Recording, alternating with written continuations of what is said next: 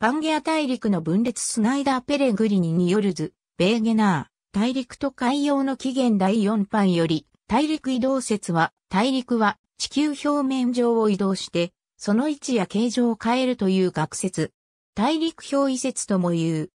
発想自体は、古くからあり様々な人物が述べているが、一般には、ドイツの気象学者、アルフレート・ベーゲナーが1912年に提唱した説を指す。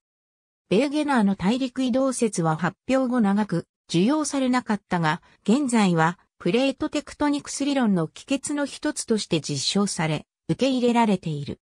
ベーゲナーは大陸移動を思いついたきっかけとして、大西洋両岸の大陸の形状が一致することを挙げているが、これについて言及している人物は、最も古くは、フランドルの地図制作者、アブラハム・オルテリウスがいる。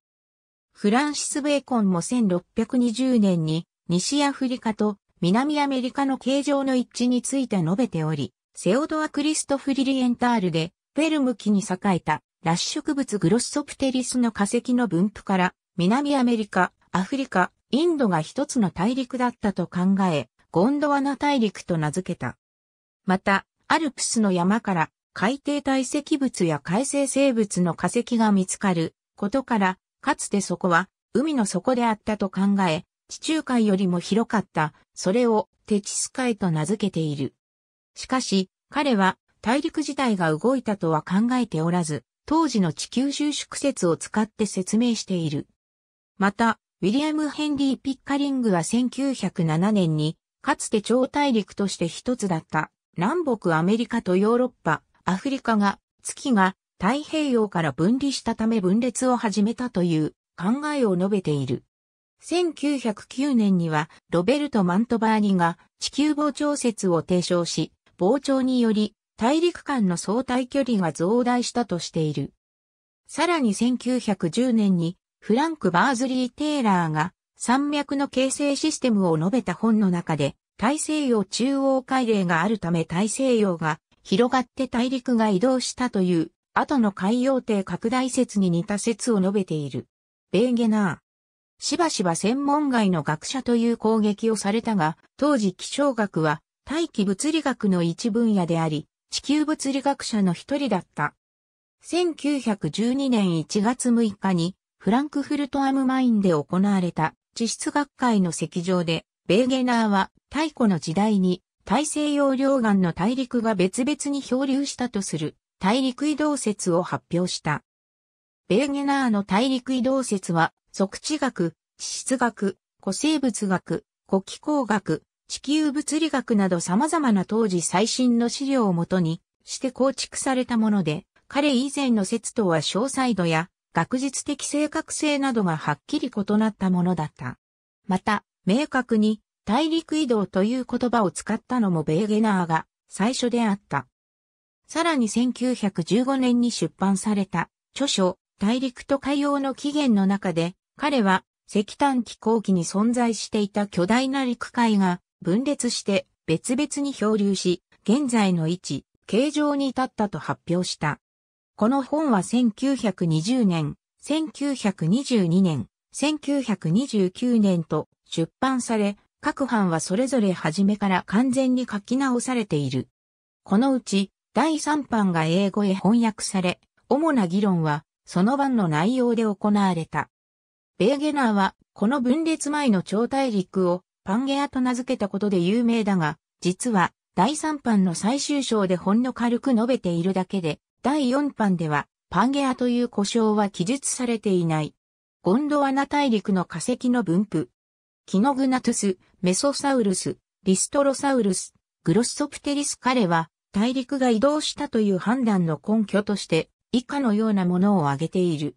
地殻のアイソスタシーを示した図。茶色部分が地殻で、7の橙色部分がマントル、5の青色部分が海。標高が高いところは地殻も厚い。アイソスタシーがあるため、大規模な大陸の海洋化は否定される。広い海で隔てられた別々の大陸に同じ種類のあるいはごく禁煙な動植物が隔離分布している例はその頃までには広く知られていた。この説明に使われていたのが立教説だった。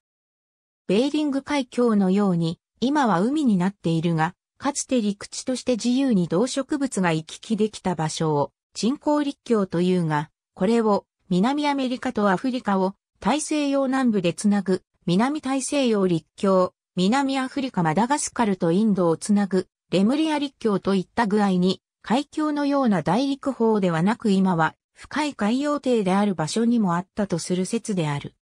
この説の前提として地球が現在も冷却していっているため地殻が収縮していくとする地球収縮説があった。収縮活動によって高くなったところが山になり、逆に沈降したところが海になったというもので、ベーゲナーの時代ではまだ有力な説であった。立教説は大陸が沈む理由をこの収縮説を使って説明していた。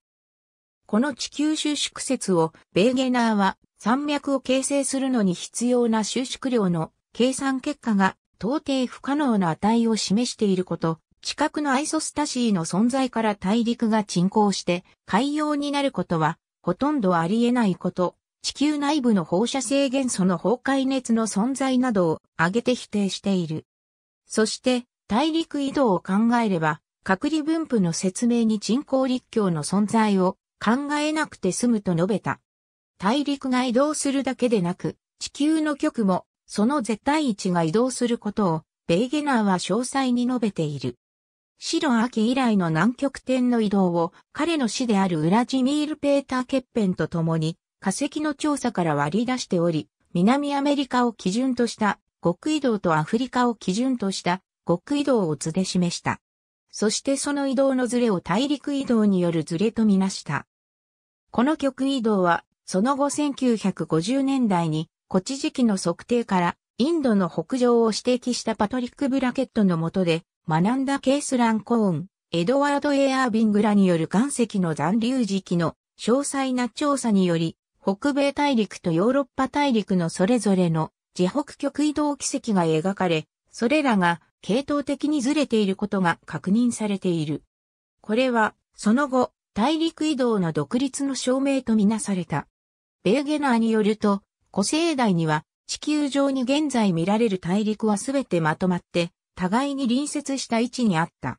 それらの部分はすべてが陸であったわけではなく、少なくとも一部は浅い海になっていた。そこから、まず、ジュラ紀以降に南極、オーストラリアインドがアフリカ南部から切り離された。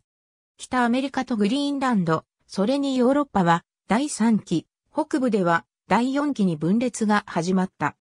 また、分裂と大陸の移動は、作り山運動を引き起こし、例えばインドはアジア南部とぶつかり、ここに巨大な山脈が形成された。南北アメリカは西に移動したために、その前面である西側に長い山脈が形成された。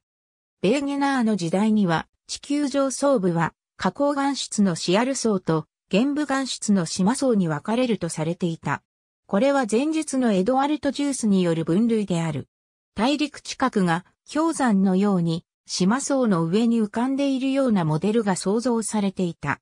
ベーゲナーは密度の小さいシアルからなる大陸近くが密度の高い島層の上を滑るように押し分けて進むイメージを考えた。そして移動の駆動力として離極力と月と太陽による潮汐力に求めた。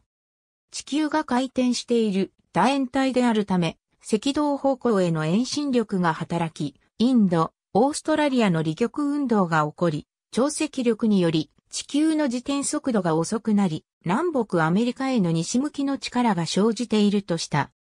このモデルはすぐに、ハロルド・ジェフリーズ、ポール・ソフォス・エプスタインなど物理学者らによって、遠心力や潮汐力は大陸のような巨大な陸海を動かし山脈を形成できるほど強力ではないことが示されている。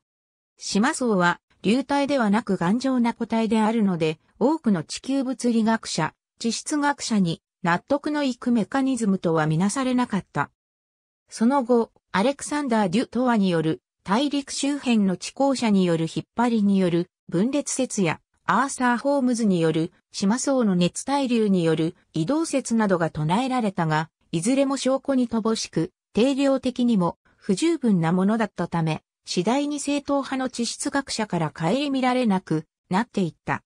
大陸移動説に対する評価は様々だった。ヨーロッパやその南半球の植民地などでは当初好意的に評価する研究者も多かった。